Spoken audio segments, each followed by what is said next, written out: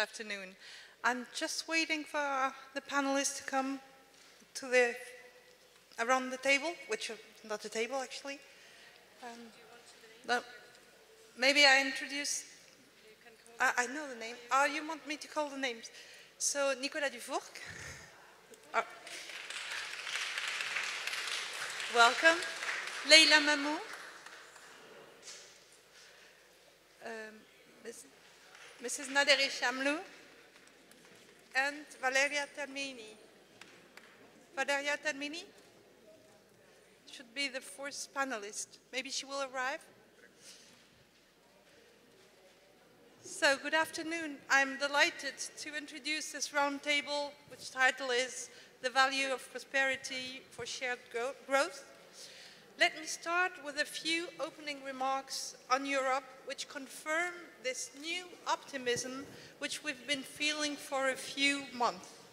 You know we've been through terribly, terrible crises and terrible dangers, but even if everything is not settled, we have now more reasons to hope in Europe's future.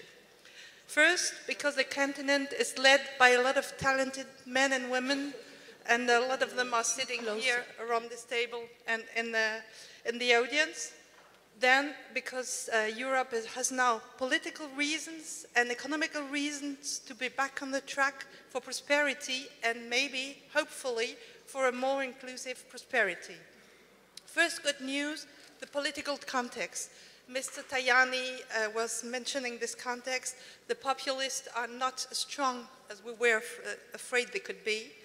Uh, you saw it in a different recent election. He mentioned, I do it also because it's very good news in Austria, in Netherlands, in local elections in Germany. And of course, we French were very relieved to see that a genuine Europhile came to power. Of course, it's Emmanuel Macron. Another good sign are the last polls. I would just take um, the recent one from the Pew Research, which was issued 10 days ago. It showed that, that the British example is frightening the Europeans. Hello, Mrs. Termini. uh, the Brexit is considered a nightmare, and the European uh, suddenly realize that stronger, that we are that united, we are stronger, of course. And 77% of the European are against an exit from the EU, so it's a good sign. And last good political sign up to me is a rising success of the pro-Europe demonstration that young people organize every week all over Europe under the logo Pulse of Europe. They're now gathering in 100 towns in 17 countries and saying their love to Europe. And from an economic point of view, we have also a lot of good news. In its spring forecast, the European Commission announced that, I quote, the European economy is showing signs of resilience and that the economic growth is forecasted to continue, which is a wonderful news for us. So some experts even speak from Europhoria. So it's good to hear that. So timing is perfect to relaunch Europe. Recently, Christine Lagarde, who is a great friend of the Women's Forum, of course, said globalization needs to have a more inclusive face. So I will copy her and say Europe needs to have a more inclusive face. How? The four panelists here will give us some examples, some experiences, some suggestions to know how to reach this goal or try to reach it. Let me introduce them to you. I go by the alphabetical order and give you a few hints just to have the official bio and the, the official documents. So Mrs. on my right, Mrs. Nader Chamlou, uh, you're Iranian. You have a beautiful name, which means a very unique one, Nader. You have um, had a successful career at the World Bank as an economist. You were senior advisor to the chief economist. You focused your research on Middle East and North Africa and published researches which showed how successful and powerful women of this area can be. Today you're very active in NGO and boardrooms. Monsieur Nicolas Dufourcq, you're CEO of uh, BPI, uh, la Banque BPI, so the Bank of Public Investment in France. He will explain you how original the business model of his company is. He is a real Parisian, which is not uh, very so common. Uh, he has the most brilliant background that French education can give. He founded a few tech companies, worked, worked sorry, doesn't work? Yes. So, sorry, you worked as a civil servant. What's happening? So you, this is what, yeah, okay. Worked as a civil servant, it's much better and the counselor um, for French Ministry of uh, Finance and French Ministry of Health. Spent also a lot of time at France Telecom and chaired its, its famous high-tech daughter company, Wanadoo. We have on my right side uh, Mrs. Mamou, Laila Mamou. She explains very often in very touching ways that she comes from a poor family and that she climbed the ladder of success thanks to her work and thanks to her will. And she tries to use her experience to emulate young men and women. And Mrs. Mamou and Mr. Dufourcq um, will explain us that you can be a banker, but you don't need to be a shark too. Um, and uh, the last person, uh, Valeria Termini, she's the only one who has the luck on this round table to live in Rome though you're traveling a lot for your work. Uh, you're an economist. You teach in Rome, in Cambridge, in London, in New York. So very impressive. You're also a specialist in energy, being a commissioner of the um, Energy Authority of Italy and vice president of the European regulators. So let's start with you, Madame Chamlou. Uh, you will draw us a global picture with facts and figures. So the floor is yours. Thank you very much uh, for inviting me, and uh, I want to congratulate Chiara and the Women's Forum for this really wonderful event. It's really uh, wonderful to, to join so many, uh, so many uh, exceptional women. Um, I just wanted to say that we have all in every country come a long way. We are not where we were about 10, 20 years ago, but we are not where we want to be. And I think for, from that perspective, we still have a lot of uh, ground to, to cover. Uh, when I first began to work on gender issues or on women's issues, it was not just on the Middle East, but you know, uh, I focused um, late, later on the Middle East. Everyone thought that the, when women, when we talk about women's empowerment or women's equality, we have to take away uh, rights from men, and it's uh, that when women win, men must lose, so that there's a zero-sum game that you know so there was this, this perspective. But I think what has happened in the, in the last, um, certainly since the beginning of this century, I can say the last century's thought was that you, uh, you know, women can only gain at the, at the expense of men. But uh, in the, in the, since 2000, there has been more and more quantitative uh, um, you know, studies done about the cost of inequality, quantifying the cost of inequality for everybody. So what we have, I think uh, we are now finding ourselves at a, at a stage where, again, the past century's idea was that you educate the women, everything will take care of itself, and that's all that, that needs to be done. But now we are realizing that it's not just enough to educate the women. Still, women will face a lot of barriers, a lot of impediments, and it is important to empower them. That means that taking away those barriers that, are, uh, that hold them back, hold back talents, hold back skills that could be contributed to the economy. Now, uh, it is very important to have women in high places, and I have to, to commend that Mrs. Uh, Christine Lagarde has made an incredible contribution to the women's issues because before, let's say again, last century, a lot of economists were very skeptical about women's issues. They thought that this is, you know, a, a, soft issue. It has to deal with culture and, you know, religion and so on and so forth. But what Mrs. Lagarde has done is she has brought it into the, like, you know, ground zero of the economic profession. And together with um, Madame Yellen, you know, uh, uh, Janet Yellen of the Federal Reserve, of, of course of the World Bank, of all of the different organizations, they have commissioned some very, very economically, let's say, academically robust studies that show that women are, you know, very critical. Uh, just to, to, mention four uh, small uh, studies, I won't go into great detail, but there is um, one of the large, let's say, body of studies deals with income inequality. We've all heard about the 1%, the 99%. It has fed into a lot of populism in, in Europe, in, in America, everywhere else. Well, these studies show that gender inequality is at the center of income inequality. So when countries want to improve the income inequality in their countries instead of taxation, uh, or at least let's say let's put it, in addition to taxation or distributional policies, they can also do, uh, by removing barriers from women, they can improve their income inequality you know, con conditions. Um, the other, uh, uh, another study deals with the fact that when women bring their skills and talents to the, to the market, the, the diversification of the economy is so much greater countries can export, can sell so much more to, to, the, to the outside. Again, women, the gender, in, uh, gender equality is very critical for you know, industrial diversification.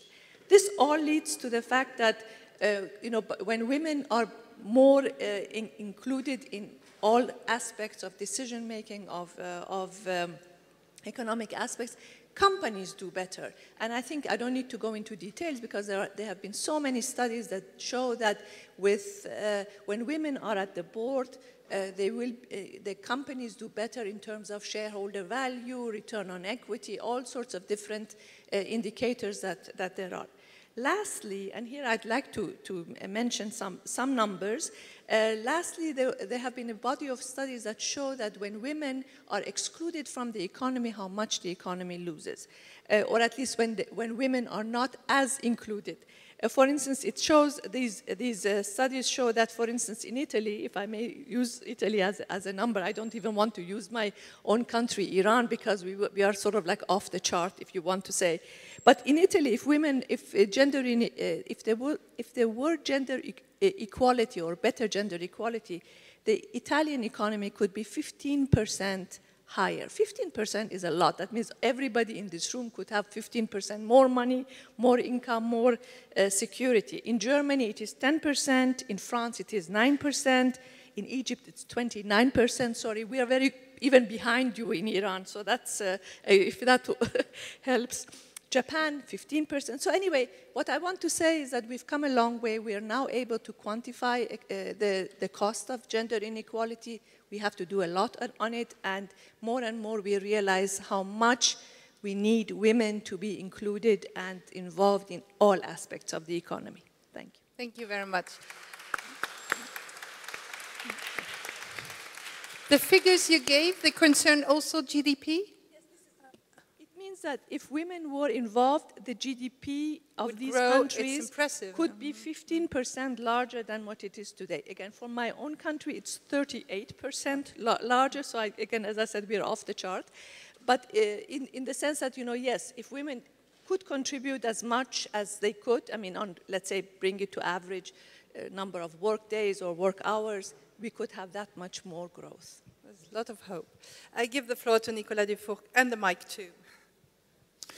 So many, many, many different things to say. First of all, I, I would of course um, agree with what you said. I mean, there, is a study that has been done by, uh, I think it's McKinsey on Europe, that says that uh, if all Europe, only Europe, huh, all European women were as active as the Swedish women, and if all the senior males of Europe were as active as in Hungary, then we would have 3% of GDP growth in Europe every year, which is doubling, just doubling the result of today. Yeah?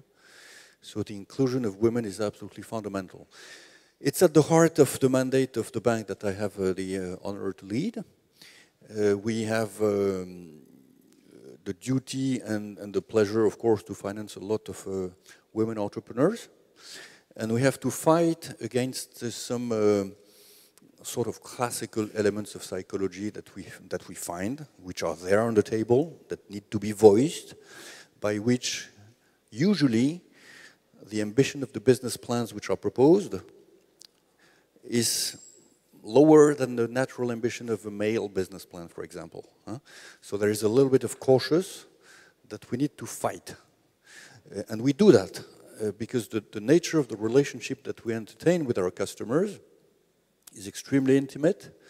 As we say in French, nous tutoyons les clients, uh, which, which means that which, means, which means that uh, we really are trying to live the dream of, of the entrepreneur, she or he, and then to make it happen. And when the dream we feel is half of what it should be, we say it.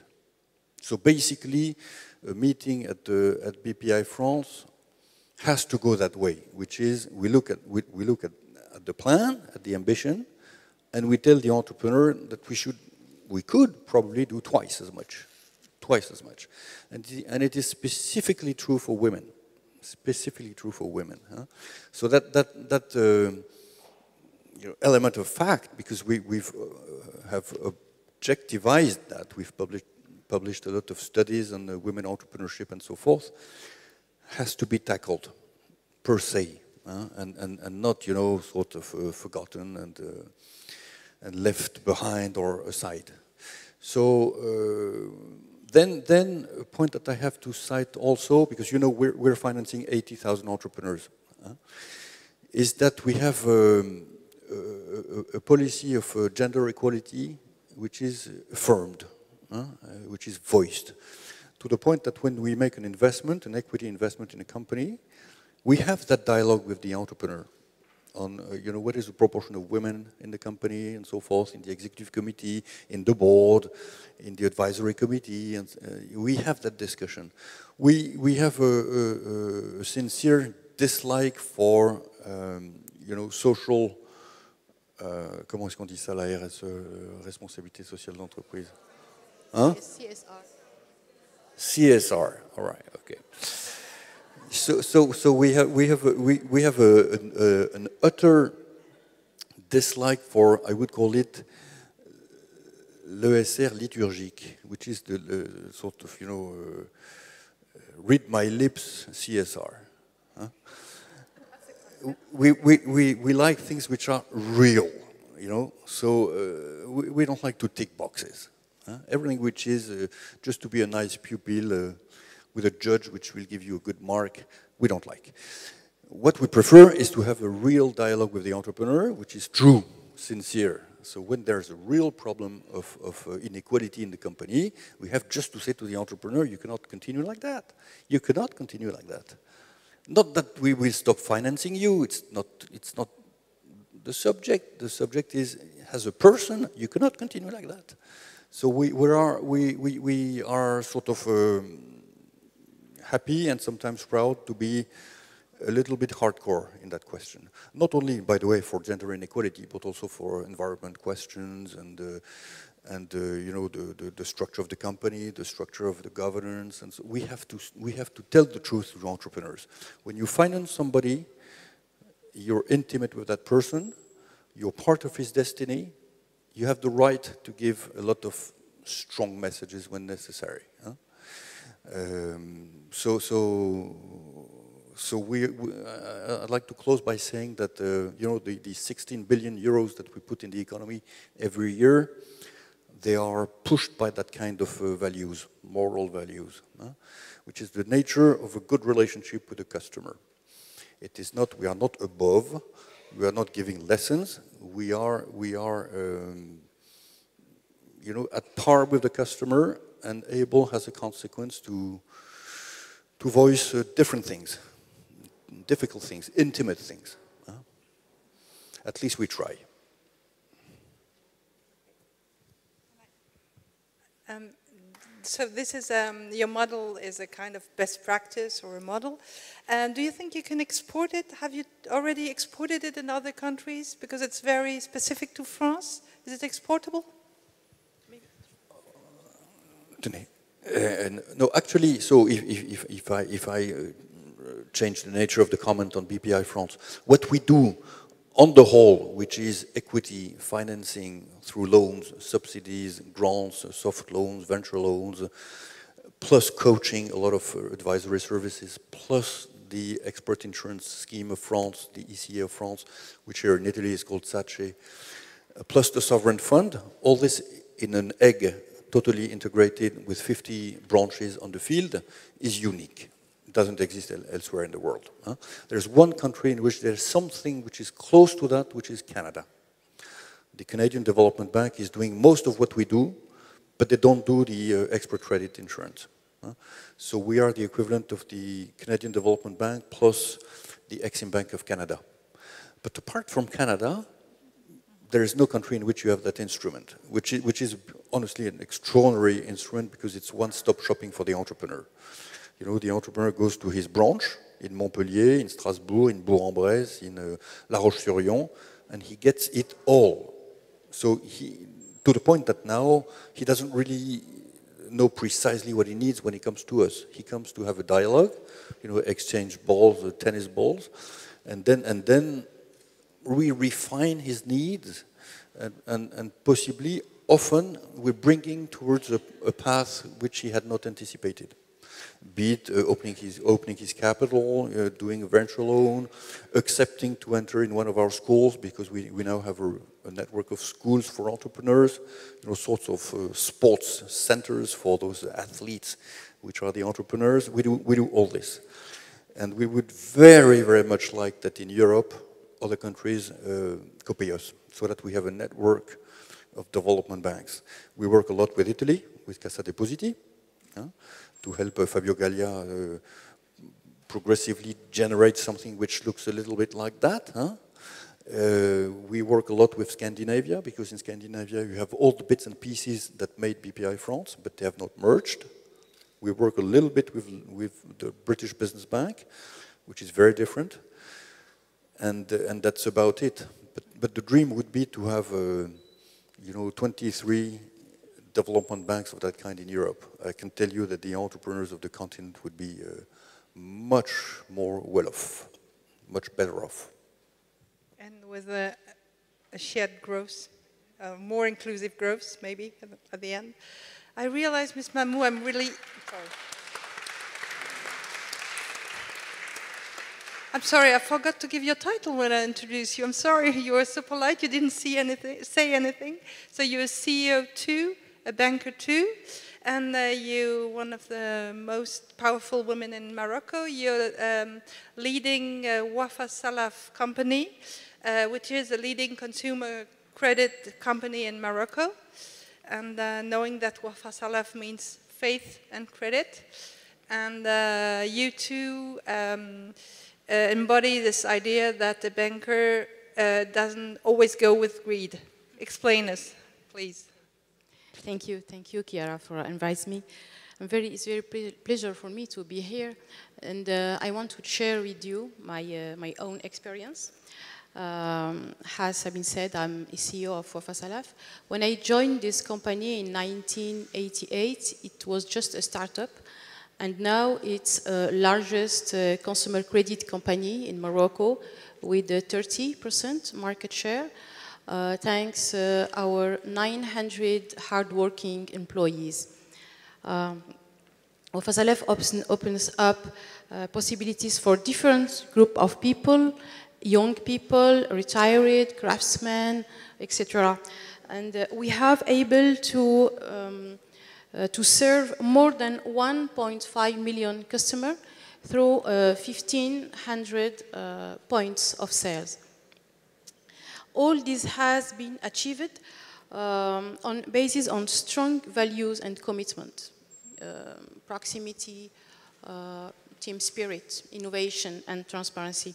And this is why we extend our uh, financial expertise to Tunisia, to Senegal, and now uh, we are working on the Côte d'Ivoire.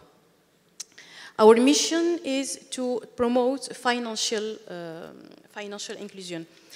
And what drives me is first is the human, uh, human element. The human uh, capital is very important for us, very important for our company. Uh, and the CSR, the corporate social uh, responsibility, is a strategic issue for my company. And it's a strategic issue for um, our communities. It is by helping our communities, by helping our people um, that, that can uh, we all prosper. the CSR is, uh, uh, it's uh, included in our DNA. And uh, we are proud uh, of uh, our initiative. The first initiative is about women. Uh, in Wafasalaf, we have 53% women, but it's not sufficient. It's not sufficient to have just uh, more than women, but what I want is to have the women on the top management. This is why I introduced uh, 10 years ago a specific program for the women. And uh, now, uh, in the committee, in the executive committee, I have 45% uh, of, of women because they need a specific training. Um, so the women issue is very important for me. And uh, I'm also uh, involved uh, by promoting entrepreneurship uh, with young people. And that brings uh, me to the second thing, is innovation. Uh, I, am I'm also the CEO of the NGO. It's Injaz Al Maghrib. Injaz Al Maghrib is the member of Junior Achievement Worldwide. Uh, junior Achievement Worldwide, uh, Injaz is, comes uh, from Arabic word. It means uh, progress. And our mission is to help young, the new generation of entrepreneurs emerge. The JA is about helping young people to believe themselves to believe their uh, potential by, by enabling uh, them to create their own opportunities. And so how do, um, how do we do this? Uh, Injaz, volunteers are uh, business executives. Uh, they, they, deliver a specific program for uh, junior achievements in various school, university, but, but only the public, public school, not private school. Um, and we are based on the um, learning by doing approach. The goal is, uh, is to help the strengthening links uh, between the educational and the corporate uh, world and instill a sense uh, of initiative and entrepreneurship among young people. So, what kind of uh, impact and reach uh, in, in, jazz? in? Injaz was founded 10 years ago. 100,000 young people have, uh, have been trained thanks to over 3,000 uh, executive volunteers and over 90 national and international uh, partners. So it is a vast uh, network that serves as a bridge uh, between the public education system the private sector and its ecosystem. We work with groups of students, but we also get teachers and uh, administrators uh, involved in the, in the program. And this is a win-win for everyone. And uh, how, did, how did we create this incredible network? Wafasalaf's holding SNI uh, was the very first donator, very important donator in, uh, in, uh, in Injaz. And Injaz is, uh, is a powerful HR tool, um, especially when you can make community involvement a key value within your company. Every year, we have 1,000 volunteers from our group to, uh, to give back to community. I personally started to be a volunteer at the beginning, and each year I have classes, I have students, and I spend two hours by, per week during five or um, six months to help uh, the young people and to, to, uh, to see with him how they can create this, uh, uh, how they can create an, an enterprise. So these volunteers, it's very important to, to understand what's the volunteer. Volunteers, they take time out of uh, their uh, busy week uh, to make a difference in their communities. The time is paid for the company, uh, and it's another win-win because the, the, the, volunteers can share their uh, business, uh, business and professional skills. it's about financial education, how to create, how to innovate, how to create an enterprise. And we have many success stories. Uh, since Injaz was founded, uh, young entrepreneurs have created uh, over 1,000 uh, young um, junior companies. And they have all been made possible thanks to the human elements and innovation. But what I must say here, uh, uh, human elements and innovation, it's not sufficient because um, there is another thing that's, that has a huge importance is the inspiration. So how can we inspire the young people? Um, uh, you don't have to be uh, Sheryl Sandberg or uh, Elon Musk. You don't have to be uh, some kind of legend, uh, legend person to give back to the, to the, to the society and to, um, to share an important business skill and just to share life lessons with, uh, with young people. So INJAZ volunteers are there to set an example. There are not superstars, but just real life role models who inspire young people. So each of, uh, of you here uh, is exactly the kind of person who can help prepare uh, young people to succeed. It's about giving time. One of most precious uh, what we have is the time. Many company gives us the money. It's important to give us money. I'm very happy when I receive money. But uh, giving just a few hours uh, in, um, in your time a week, uh, we can help develop the chain of solidarity. Um, we can help young people uh, to, to be motivated by school. And each of us, what, uh, what it takes to make a difference in the, in the lives of young people. So I, I encourage you to to be involved by the entrepreneurship of the young people because really it's a, it's a change, uh, it's a change uh, definitely my, uh, my life. Thank you.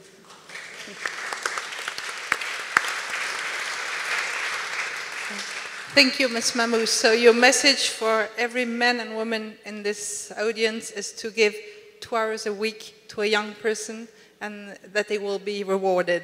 Yeah. Two hours is like a lunch okay, just... so one lunch a week to promote a young person. So Valeria Termini, it's your turn.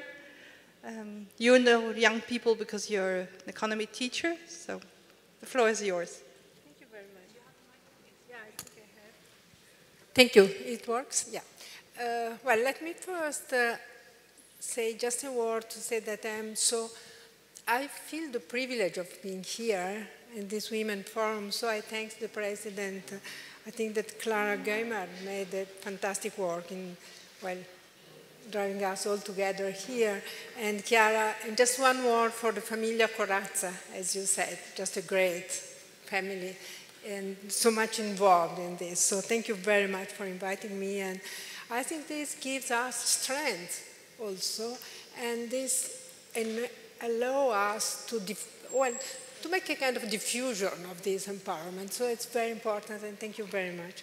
So why energy? I'm here as energy commissioner, and uh, well, my idea is uh, energy was I launched a few years ago is energy for peace uh, and energy for prosperity, Sabine, and energy for, let's say, empowering women.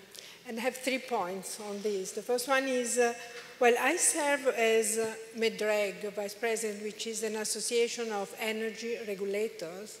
Apart from the fact that the staff is 90% composed by women, females, I mean young women, and I pretend, I assume that women vision, I'm sure you agree, has a different, kind of different angle, of course, as we all know.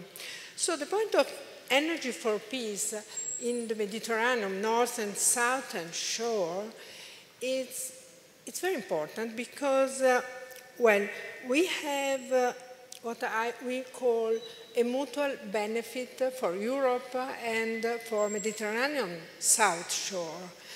Because just to say as an economist, one word, uh, well, just to synthesize at maximum, in Europe we have an extra supply, of course, of energy, electricity, gas, etc.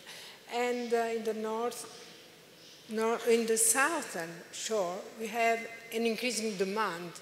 And this has to do with demography, just with demography, with growth, with, uh, with the difficulties uh, of the political situation. But demography helps in that sense. It's a problem, but it's an opportunity as well. And Europe must take it. So that's the first point. And just to give a, just an example, for electricity, I was sitting next to our friend, the Minister of Tourism of Tunisia. We just had a, a very nice um, round table with the energy minister, who's a woman as well. You are all women in Tunisia? That's fantastic. and, and we had a discussion, a nice discussion, because we are building a, uh, an electricity interconnector from Tunisia to Italy. I mean, just the kind of mutual exchange I'm hinting on. And then as far as, uh, so that means prosperity, employment, investment, uh, innovation also, of course. And this is for existing. For gas, uh, we have pipelines. And believe it or not, Europe, through Europe uh, and MEDREG, uh, the, the Association of Energy Regulators, we are building a colloquium between horizontal, di uh, politically different conditions uh, like Israel and Gaza and Egypt and Libya, etc., through Europe, uh, like a triangle.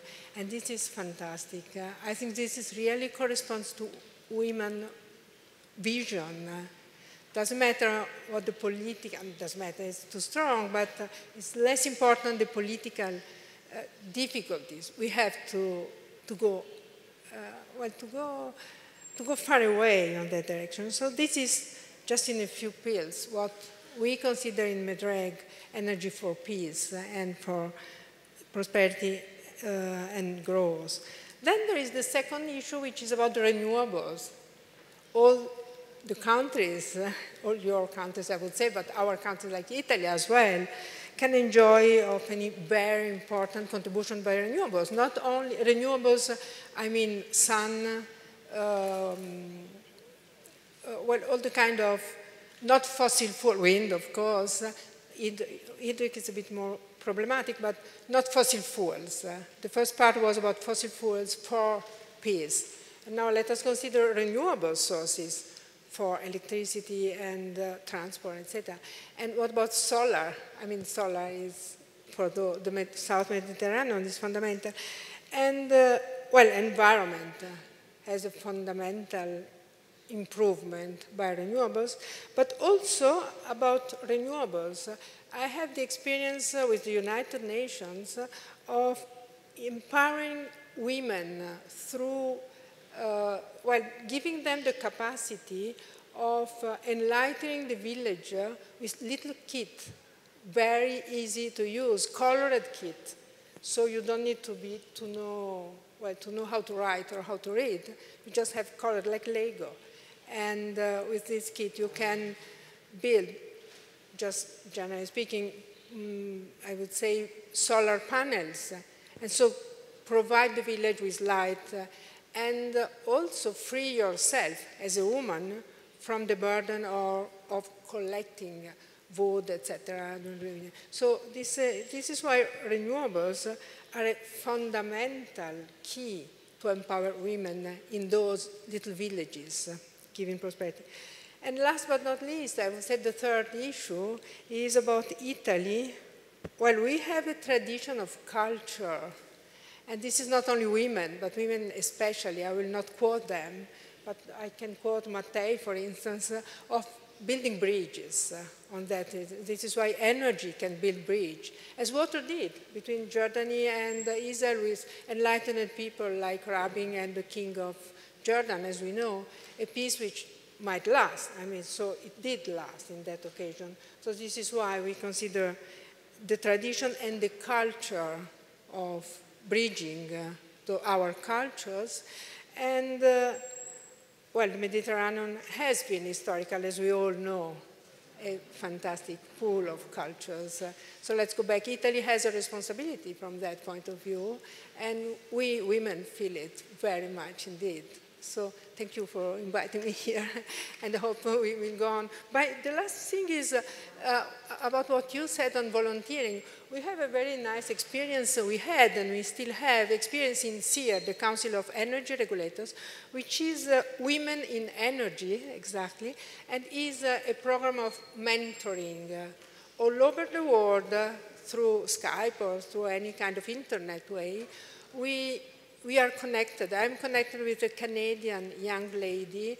Of course, it's volunteer, but it's very important for us, for the old ones like me, and for the young ones like the, the new one. And we call it uh, Women in Energy and uh, Mentoring Women in Energy. Thank you.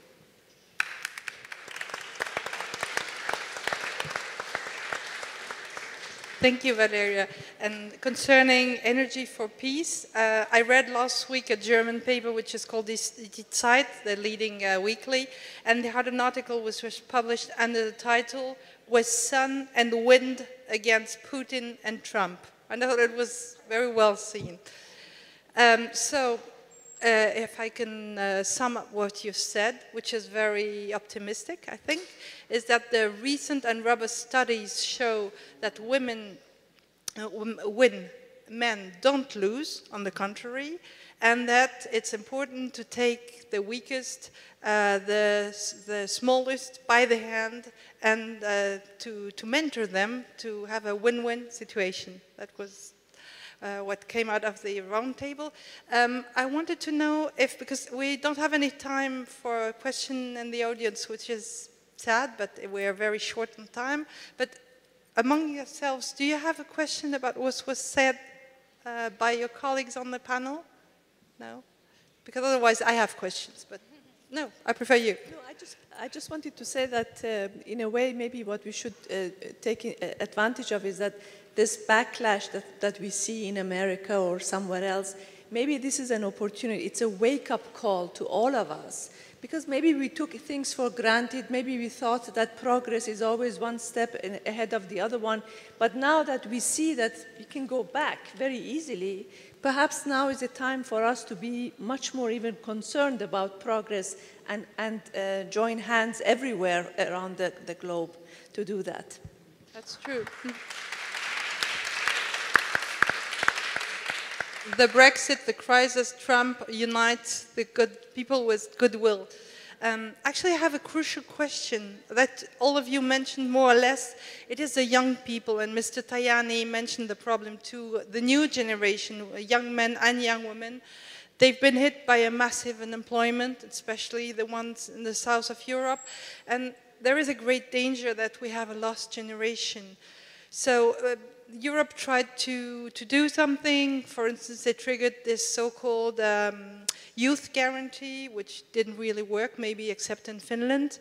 So what kind of model should we offer our young people to make them have a good life and dream, maybe? So I would like to hear the four of you on that question. We begin with uh, Valeria? I didn't inform the panelists I would speak about no, young it's people. No, it's very intriguing and very important. I think it's the question at the moment for us, for our generation, is the fundamental question, even more than women.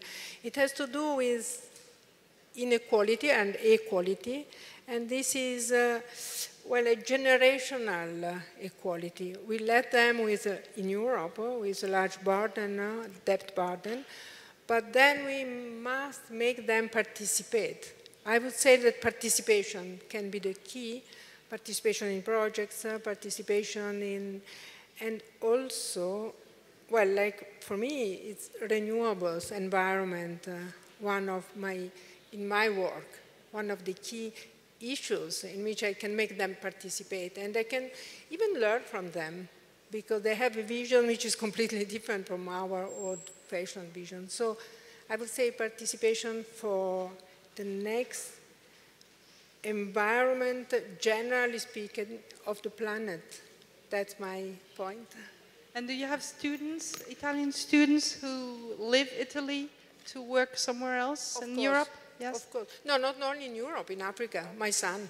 no, but also students, I mean. Because of uh, joblessness or? No, no, no, no, just because of uh, volunteering in villages for, for few months and then they come back.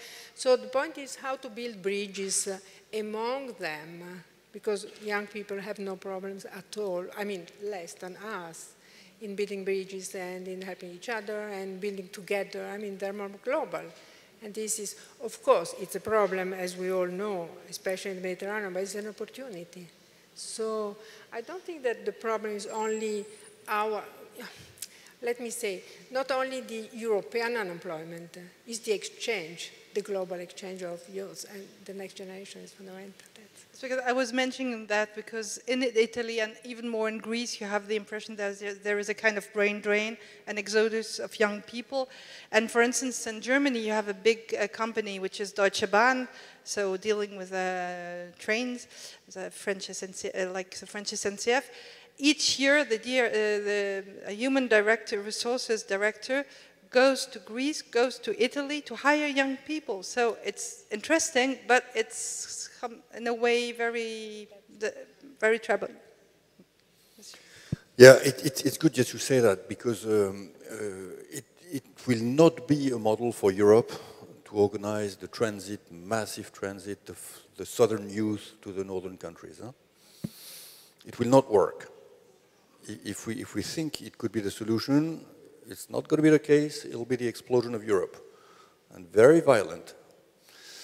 So we need to create jobs in those countries, starting from France. The problems of the different countries are different. Huh?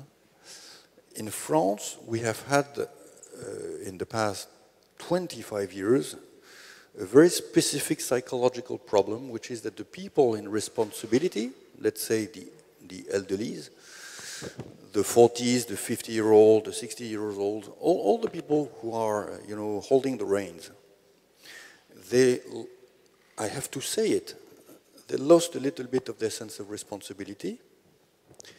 When I define responsibility by the duty to be creative, optimistic, and to invest. If I am pessimistic, if I don't want to invest, if I think it's the end of the world, uh, no wonder my children are unemployed. So the, the duty of the elite is to invest. And when there is strictly no banking problem, no capital problem whatsoever, and you see people not investing just because they have the sort of laziness of pessimism, you have to fight. Or maybe because they are afraid. Yeah, but uh, you know, when you're a leader, you must not be afraid, or you're not a leader and, and, and go away. I'm in my role of journalist. but when you say lazy... So, no, but you know, this is what we have been living through. I think now it's starting to be over. There is a, there is a reversal of values at last. But it lasted 25 years. In, in, in Italy, it's different. In Italy, you really have a big banking problem. So the rest of Europe needs to be solider to Italy and help the, the, the, fast rebuilding of a banking system so that the entrepreneurs can, can you know, take uh, loans and really invest for the youth. I mean, today there was a, a massive investment of 21 billion euros in, in Italian uh, crippled banks. So the crisis is not over. And at the end of the day, uh, you know, the level of investment in Italy is not where it should be for the youth. So here, I, I, I, I recommend European solidarity and not transfer demographic transfers of people from the south to the north. I'm sorry, I will have to be very quick with the two of you, but it's interesting because you're not Europeans, so you have an outside view, so it's very interesting. I'm sorry, the lady in, in, blue told me we have to hurry, so if you can sum up your... To, I'm sorry. Yeah, just uh, in Morocco we have an unemployment rate, especially in the young people. This is why we decide to, to work uh, about entrepreneurship, because 75% of the young people, they want to be just a salary. It's impossible. This is why we, uh, we try to, to help them to create their enterprise. And we have a specific program to, um, to help the, the, young people to create uh, their, uh, their own uh, enterprise. And we have a pre-incubator and incubator. Um, and every year we have, like, like, like I said, a specific mentor to, to help these young people. So it's important to have more than startup because um, the salary is um, it can uh, it can be impossible to um, uh, to recruit or uh, we have one 140,000 people every every year they uh, they're looking for salary it's impossible so we have to to to work with them to to to push them to create their own enterprise can I ask you for a quick yes. sorry does it work uh, I'll be very brief in the sense that I think we have, the world is facing two problems. One is, of course, youth unemployment. Every country thinks that they have, you know, the youth unemployment is their problem, but it's global uh, and so on. The other one is radicalism and, and uh, terrorism, and in a way they are interrelated. I think that this is a, the, the, the age of disruption. The young generation, the millennials, and I have two of them at home, uh, they should not be expecting anymore to have a job waiting for them. They have to create their own opportunities to be, and what policymakers need to do is to create an environment for them to create their own opportunities. The second point that I want to make very briefly, and my, uh, I, I, I, look to Europe to do that, is that with uh, with you know the environment in, in, in the United States, and I live 10 minutes away from the White House, so I, you can imagine how close I am to, to this, to this uh, thing, is that we need to understand that when we create conflicts in other parts of the world, this is not going to stay in that part of the world. It's going to come home, and the chickens are going to come home to roost. So, therefore, let's be careful. And I'm so happy that Europe is standing up to, to this issue. And I really salute you. Uh, I think that we need to make sure that we don't create more conflicts around the world because, in one way or the other, our children will pay for it. Europe standing up. Uh, I have one more. You say Europe is standing up. One more. It's from Angela Merkel. So you say Europe is standing up. There is a new wind blowing, and I will quote to finish Angela Merkel.